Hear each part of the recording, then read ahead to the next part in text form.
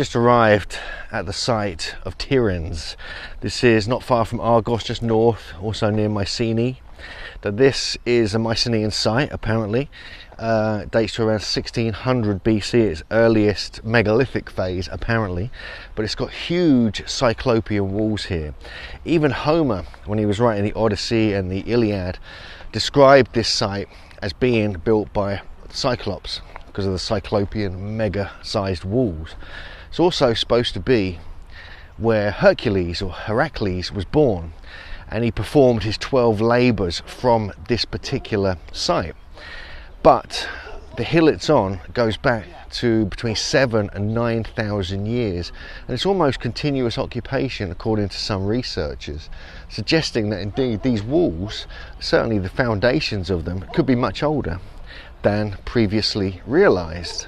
If this is the case, this could date all the polygonal and cyclopean walls to an earlier period than we're told, because in Greece they're thought to be Mycenaean, so we're talking 1600 BC at the earliest, but clearly they might be much, much more archaic, which is the case in Italy, and also the uh, the polygonal pyramid near Argos as well, which could be at least 2700 BC. So let's take a look around the site. We're here with JJ, uh, Cameron, and Leda, and we're going to go and uh, see what we can see. So it is interesting that there is a connection with giants here, with the Cyclops, who were the offspring really of one branch of the Titans, and also uh, Heracles or Hercules, who was also supposed to be a giant. He was certainly renowned for his strength and ferocity, but you know, let's see what we can see here, see if we can see any evidence of earlier megalithic construction. Because you can see over there, there's a huge doorway So we're going to get up close to that in a moment. And you just see these huge cyclopean walls. And it's not really polygonal, it's a little bit, but this is reminds me of some of the sites in Italy that, you know, especially up north, you get this kind of style. So, can we suggest this is indeed around the age of the Hellinikon pyramid, 2700 BC, and therefore contemporary with the Pelasgians. So we're just going to go and take a look. We're just walking across the rough terrain here. Got to negotiate some large blocks. The reason being is that we just spotted an extremely large doorway, megalithic lintel. So this would have been one of the main doorways into the site here of uh. So this is like a sort of very interesting. You've got a huge lintel there. That's like sort of eight feet across. Probably goes super deep. Then there you've got what appears to be another kind of entrance. So we're just walking along the edge of the western wall here at Tiryns, and yeah, pretty big blocks. They're not huge, but they're pretty big. I think they get bigger as we go round, so we'll find the ones that are more famous. But still it's worth just getting close up here. They built the wall very high up and they kind of mixed it with bedrock. Not dissimilar to what we saw at the Hellinikon pyramid and also we get this in Peru and, and Italy obviously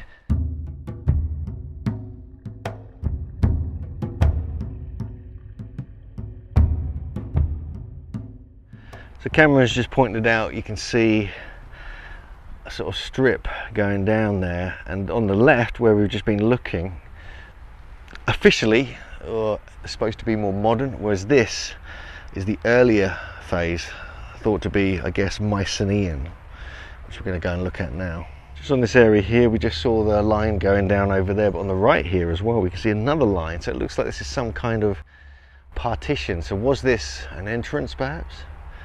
Was it the edge of the original site? Not too sure. There is a small entrance over here, and we just have you can see Cameron and JJ just heading towards it. JJ is already in. Let's have a little look. So whether this is an actual entrance or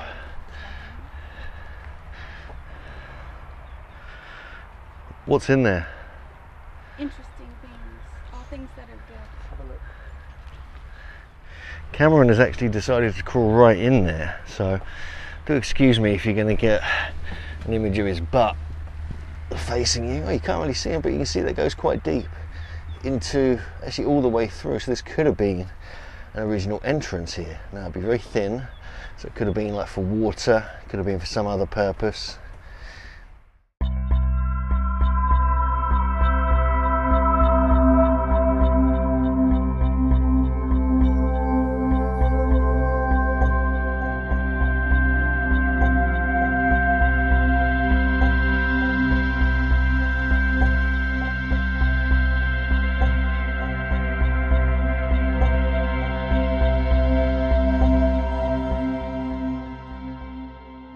So we've just been pointed out these big old steps on the left with standard size steps on the right leading up into like the western entrance of the site. Let's take a quick walk up, then we're going to come back down and go around the edge of the site.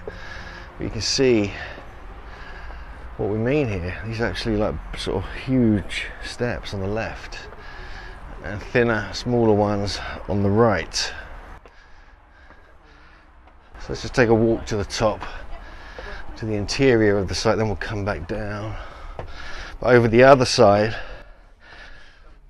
probably the eastern side, is where we find the larger walls, the larger blocks. So this is the entrance way, not dissimilar to what we find at the Hittite or Hattian site in, and that is quite an interesting orientation, looking straight at the mountain top.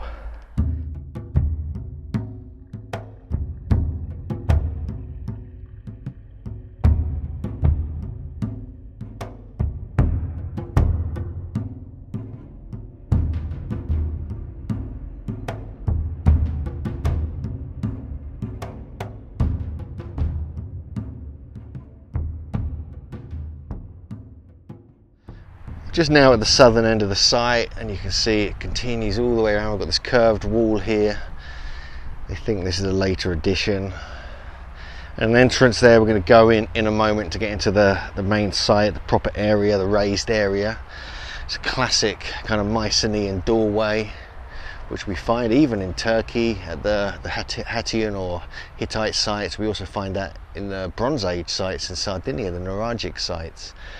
So, you know, it seems to be this Mediterranean megalithic, polygonal and cyclopean building culture, which, you know, according to Gary Biltcliffe and others, is the Pelasgians. So, with these here as well, and it's known that this area here indeed was very close to the sea off the coast of Argos uh, back in 2600 BC or thereabouts. The sea came in much, much closer to what it does currently, which is a few miles away now. So just outside the sort of southern and western entrance, we're going to go up. This is here. Now this is uh, quite intriguing. I'm sure it's got a, an official explanation. But this is a massive block of stone, which seems to be sort of slightly anomalous. Is it like a stone for working the crops, working the wheat grains? Or is it something else? Is it some defensive thing? Very, very, very it's a huge, great thing carved out of solid rock, whatever it is.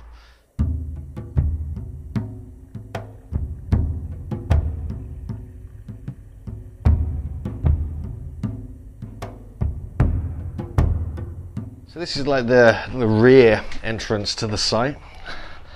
And uh, again, he's got a combination of natural rocky outcrop with the cyclopean stonework. I think these steps probably been added for tourists, but they're probably much wider, larger originally. Let's take a look anyway. I read today that around 2600 BC or beyond, it was very close right up to the site, so it would have been a coastal megalithic fortress. So it's at the top, top part of the site on the western southern end. See lots of rooms here. It's been concreted as well. There's a so-called spot here, which uh, officially is the bathroom.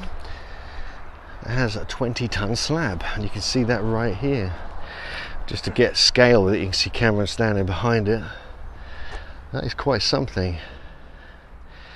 Reminds me of Tiwanaku, and also you've got drill holes in it. So according to uh, our expert here, Cameron, uh, these are ancient boreholes. So these do show signs of some kind of drilling technology. Exactly how they would have done it, we're not sure. But we know they could probably because it's limestone. But then you have this kind of nice shaping around the stone here, this 20 ton stone. Apparently, this was the washroom or the bathroom, and the water would drain down at the back on the left there. Supposedly get changed here. This is intriguing. This is like strange. It's like an anomaly here, really. Beautifully carved with a kind of edge around the stone, suggesting that they could certainly work the stone. And this looks like a harder type of stone. It looks darker, it looks grayer, some probably a higher quality type of limestone.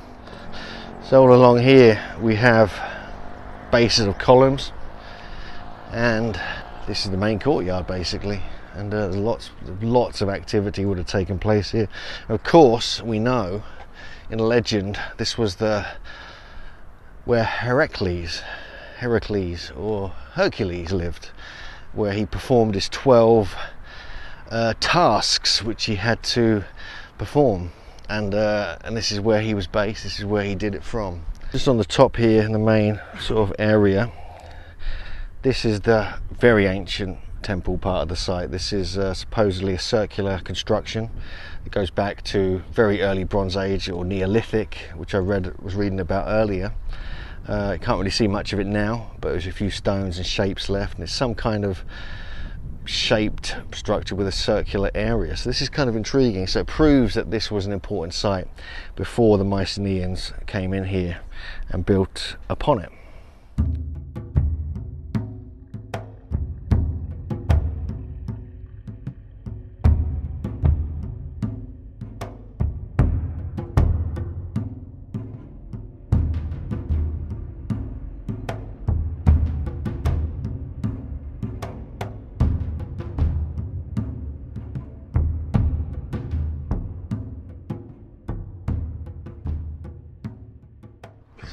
Cyclopean walls on the outside of the southern part of the site. So we're going to go and look at some mega blocks, the biggest ones on the site right now. So we're just walking down the eastern part of the site now, and we're going to the big old famous doorway where some of the largest stones are. So uh, this is what I've been looking forward to seeing for quite some time, and you can see the uprights here. See how big these are? very similar to the Hittite or Hattian sites that we find in Turkey. And you can see where there's a large hole has been carved out here where probably a wooden post would have gone through. You can see all the pebbles and almost looks like a conglomerate type of stone this one, unless it's been reconstructed. No, no, it's original. It's conglomerate. It's, It is original. This is the big wall. So here we have the quite large stones. And you can see these are like massive square chunks, beautifully put together. Not precise, not beautifully done like uh, we find at some of the polygonal wall sites, but still pretty impressive. Nonetheless, this on the interior of the site.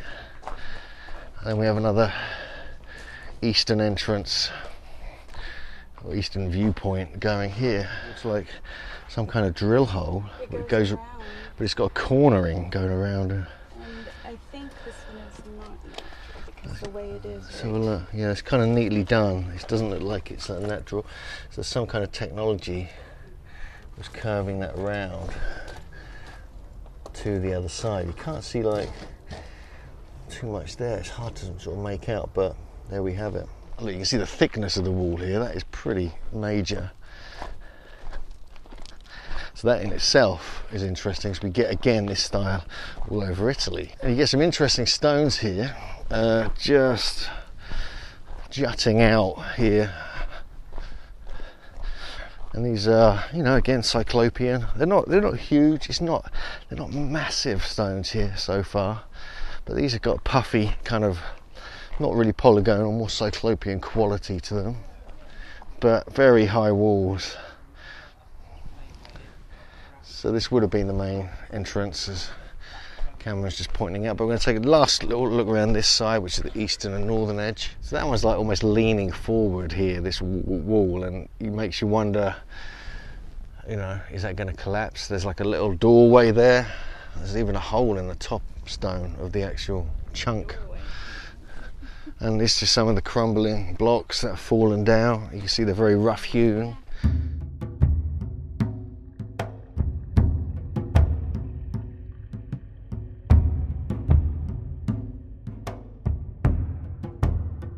So we're just leaving the site of Tiryns here near Argos.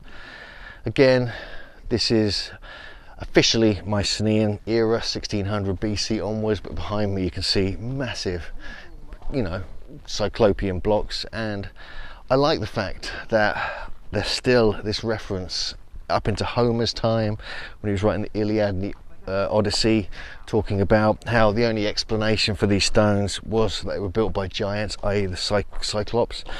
Um, so this tradition is really strong here, especially when it comes to these sites of polygonal and cyclopean walls. Because um, so were there really giants here in ancient Greece? Was there an actual race of titans? And we know that the titans goes back. The whole tradition, the legends, go back before the time of the uh, Olympian gods, Zeus, and so on. And we have Kronos, who was like the father of the titans who gave birth to Zeus, who eventually killed him, and so forth. And so the references and the strong traditions and legends and folklore and uh, the classical stories that stretch back into prehistory to the beginning of time really more research needs to be done but the fact we're finding dating here going back to such an early era 7 to 9000 years ago is remarkable in itself and is worthy of more investigation